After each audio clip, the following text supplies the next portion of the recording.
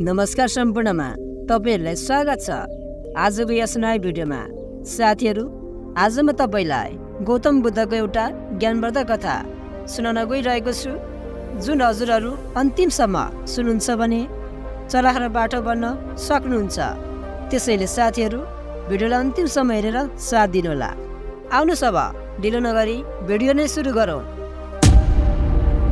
साथीहरू यदि तपाईँ चलाख र बाटो बन्न सक्नुहुन्न भने दुनियाँले प्रत्येक पाइलामा तपाईँको फाइदा उठाउँछ। धेरै सोझो हुनु पनि ठिक होइन। उदाहरणको लागि जङ्गलमा सिधा रुख काटिन्छ तर बाङ्गो रुखलाई छोडिन्छ। आजको समयमा प्रत्येक व्यक्ति आफ्नो स्वार्थ मात्र हेर्छ। चाहे त्यो तपाईँको लागि नोक्सानै किन नहोस् त्यसैले त्यस्ता व्यक्तिहरूसँग सामना गर्न तपाईँले बाटो र चलाक बन्नुपर्ने हुन्छ। धेरै मानिसलाई लाग्छ कि चलाक व्यक्ति भनेको अरूलाई मूर्ख बनाउने र आफ्नो स्वार्थका लागि अरूबाट काम गराउने व्यक्ति हो। तर चलाक व्यक्तिको अर्थ यो हो कि कुनै पनि व्यक्तिले तपाईँलाई मूर्ख नबनाओस्। तपाईँले सधैँ आफ्नो दिमागको प्रयोग गर्नुहोस् र कसैको जालमा पनि पर्नु नपरोस्। आउनुहोस् अब नै सुरु गरौँ। एक दिन गौतम बुद्ध आफ्नो शिष्यहरूसँग एउटा गाउँमा पुग्नुभयो। गाउँलेहरूले उनीहरूलाई स्वागत गरे र बुद्धसँग आफ्ना समस्याहरू र जिज्ञासाहरू बाँड्न थाले। तीमध्ये एकजना किसान बुद्धको उपदेशबाट निकै प्रभावित भए र बुद्धलाई भने कि हे बुद्ध कृपया मेरो घरमा हिँड्नुहोस्। हजुरसँग म एक्लै केही सोध्न चाहन्छु। त्यसपछि बुद्ध किसानको घरमा जानुभयो। तब किसानले भने हे बुद्ध हरेक मान्छेले मेरा सोझोपनको फाइदा उठाउँछन्। म तपाईँबाट सिक्न चाहन्छु कि चलाक र बाटो कसरी बढ्ने कृपया मलाई बताइदिनुहोस्। तर मैले यो पनि सुनेको छु कि चलाक र बाटो हुनु पाप हो। किसानको प्रश्न सुनेर बुद्धले मुस्कुराउँदै भन्नुभयो कि यो आवश्यक छैन कि चलाक र बाटो हुँदा सधैँ पाप हुन्छ। यो सबै तपाईँले आफ्नो चलाखीपन र चतुराइपन कसरी प्रयोग गर्नुहुन्छ भन्नेमा निर्भर हुन्छ। म तपाईँलाई एउटा कथा सुनाउन चाहन्छु।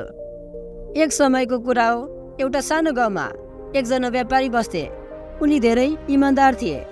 उनी कारोबार गर्दा कसैलाई पनि ठग्ने लुट्ने गर्दैनथे उनी गाउँभरि सम्मानित व्यक्ति थिए। एक दिन उनका शत्रुहरूले उनको इमान्दारीमाथि प्रश्न उठाए र उनलाई फसाउने योजना बनाए। शत्रुहरूले ती व्यापारीलाई असत्य आरोपमा अदालतमा पुर्याए। व्यापारीलाई थाहा थियो कि उनी निर्दोष छन् तर अदालतमा निर्दोष साबित हुनका लागि उनलाई ठोस प्रमाण चाहिन्थ्यो। व्यापारीले आफ्नो बुद्धि र चलाखीको प्रयोग गरेर प्रमाण र साक्षीहरू जुटाए। उनले अदालतमा आफ्नो कुरा बलियो प्रमाणसहित राखे। अदालतमा सबैले व्यापारीको तर्क र प्रमाण देखेपछि उनलाई निर्दोष ठहराए। अदालतको निर्णयले व्यापारीलाई न्याय दिलायो। उनले आफ्नो इमान्दारी र शिरलाई झुक्न दिएनन्।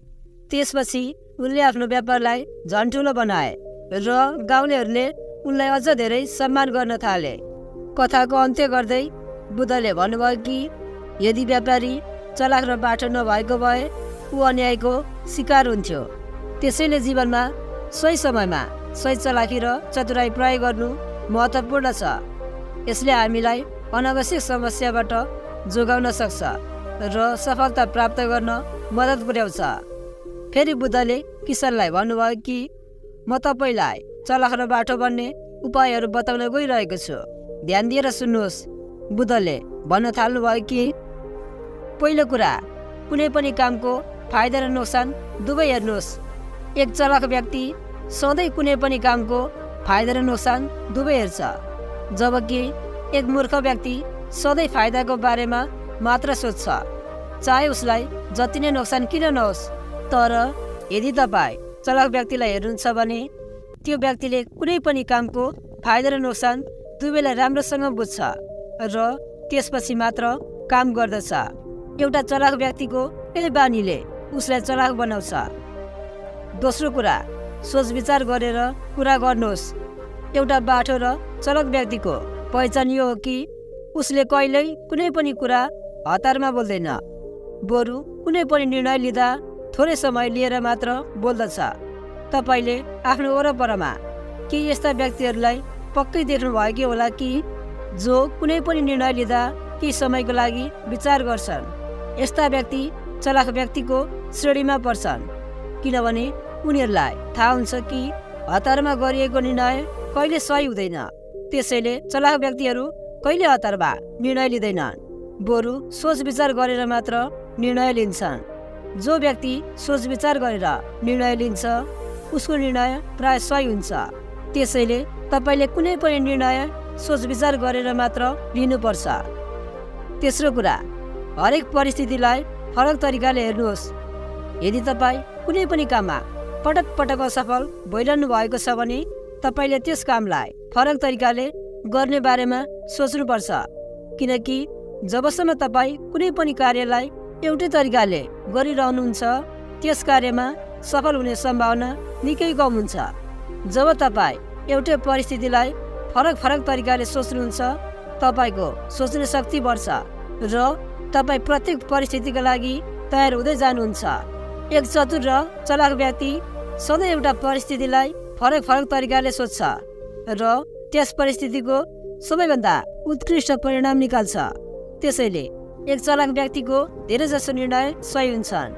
यदि तपाईँ चलाक व्यक्तिहरूको श्रेणीमा पर्न चाहनुहुन्छ भने प्रत्येक परिस्थितिलाई फरक फरक तरिकाले सोच्नुपर्छ अनि मात्र तपाईँको बुद्धिको विकास हुन्छ। चौथो कुरा नाइ भन्न सिक्नुहोस्। यदि तपाईँ एक चलाक व्यक्ति बन्न चाहनुहुन्छ भने तपाईँले नाइ भन्न जान्नुपर्छ।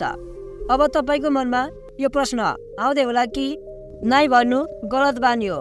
तर म तपाईँलाई बताउन चाहन्छु कि जीवनमा हुन्छ भन्नुभन्दा नाइ भन्नु महत्त्वपूर्ण हुन्छ।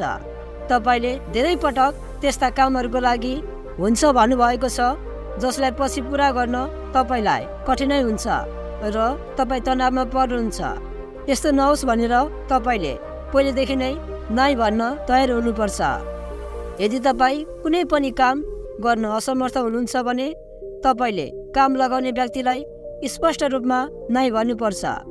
एक सोझो व्यक्ति कहिल्यै कसैलाई नाइ भन्न सक्दैन जसको कारण मानिसहरूले उसको फाइदा उठाउँछन्। यदि तपाईँभित्र नाइ भन्ने साहस छ भने तपाईँ एक चतुर र चलाक व्यक्ति हुनुहुन्छ। पाँचौँ कुरा सबैलाई खुसी राख्ने प्रयास नगर्नुहोस्। हामी प्राय एक गल्ती गर्छौँ कि सधैँ सबैलाई खुसी राख्ने प्रयास गर्छौँ। हामी सोच्छौँ कि कसैलाई पनि हामीसँग रिस नहोस् र सधैँ हामीसँग खुसी रहन् तर सबैलाई खुसी राख्न सजिलो हुँदैन। सोझो व्यक्तिले अक्सर यो ठुलो गल्ती गर्छ कि ऊ सबैलाई खुसी राख्ने प्रयास गर्छ र अरू मानिसहरूले उसको फाइदा उठाउँछन्। चलाख बन्नको लागि तपाईँले कहिल्यै पनि सबैलाई खुसी राख्ने प्रयास गर्नु हुँदैन। बरु धेरै जसो व्यक्तिलाई व्यवस्था गर्न सिक्नुपर्छ। यसरी मात्र तपाईँ एक चलाख व्यक्ति बन्न सक्नुहुन्छ। छैटौँ कुरा समस्याको समाधान निकाल्नुहोस्। एक चलाक व्यक्तिको सबैभन्दा ठुलो पहिचान यो हो कि उसले ठुलो समस्याको समाधान निकाल्ने प्रयास गर्दछ। प्रत्येक व्यक्तिको जीवनमा कठिनाइ र समस्या हुन्छ। तर एक चलाक व्यक्ति कहिले ती समस्याहरूबाट डराउँदैन। बरु तिनीहरूको समाधान निकाल्ने प्रयास गर्छ। जबकि एउटा सोझो व्यक्ति कठिन परिस्थितिबाट डराउँछ र हार मान्छ। चलाक बन्नको लागि कुनै पनि परिस्थितिलाई पहिला शान्त दिमागले सोच्नुहोस् र त्यसपछि त्यस परिस्थितिको राम्रोसँग समाधान निकाल्ने प्रयास गर्नुहोस्। धेरै जसो मानिसहरू जीवनमा आउने समस्याबाट डराउँछन्। र आफ्नो भाग्यलाई दोष दिन्छन्। तर चलाक व्यक्ति कहिल्यै भाग्यलाई दोष दिँदैन। बरु त्यस समस्याको समाधान निकाल्न ध्यान दिन्छ। सातौँ कुरा आफैमा विश्वास राख्नुहोस्। एउटा चलाक व्यक्तिको सबैभन्दा ठुलो विशेषता यो हो कि उसले सधैँ आफैमा विश्वास राख्छ आफ्नो क्षमतामा विश्वास गर्दछ। यदि तपाईँ आफ्नो कामप्रति विश्वास राख्नुहुन्छ र तपाईँलाई लाग्छ कि तपाईँ जीवनमा कुनै पनि काम गर्न सक्नुहुन्छ भने तपाईँ समझदार हुनुहुन्छ। तर यसको लागि तपाईँलाई आफ्नो काम राम्रोसँग गर्न आउनुपर्छ। तपाईँको काममा रुचि हुनुपर्छ। तब मात्र तपाईँ चलाक व्यक्तिको श्रेणीमा पर्नुहुन्छ। आठौँ कुरा पुरा जानकारी लिएर मात्र बोल्नुहोस्। एउटा साधारण व्यक्ति जब कुनै कुरा बोल्छ त्यो अधुरो हुन्छ।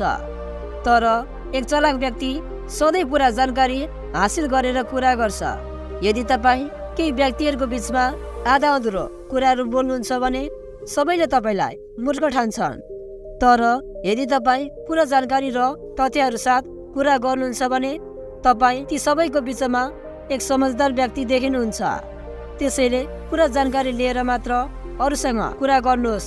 यसो गर्दा तपाईँ चलाक व्यक्तिहरूको श्रेणीमा पर्नुहुन्छ। नौ कुरा। पैसा र समयको मूल्य बुझ्नुहोस्।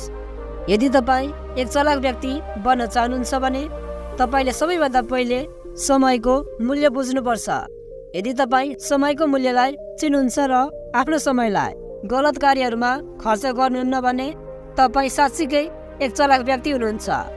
साथै यदि तपाईँ आफ्नो पैसालाई बेकारमा खर्च गर्नुहुन्छ भने तपाईँ कहिले चलाक व्यक्तिको श्रेणीमा पर्न सक्नुहुन्न। कुनै पनि चलाक र समझदार व्यक्तिले जीवनमा आफ्नो पैसा र समयलाई गलत ठाउँमा बर्बाद गर्दैन। बरु यी दुवैको सही प्रयोग गरेर जीवनमा सफलता प्राप्त गर्छ। साथीहरू हजुरहरूलाई आजको भिडियो के कस्तो लाग्यो हामीलाई कमेन्ट बक्समा भन्न नभुल्नुहोला। फेरि यस्तै यस्तै भिडियो हेर्न चाहनुहुन्छ भने हाम्रो च्यानललाई सब्सक्राइब गर्न पनि नभुल्नुहोला। फेरि अर्को भिडियोमा भेट्ने बाचाको साथ अहिले भने छुटिन चाहन्छु। हस्त धन्यवाद।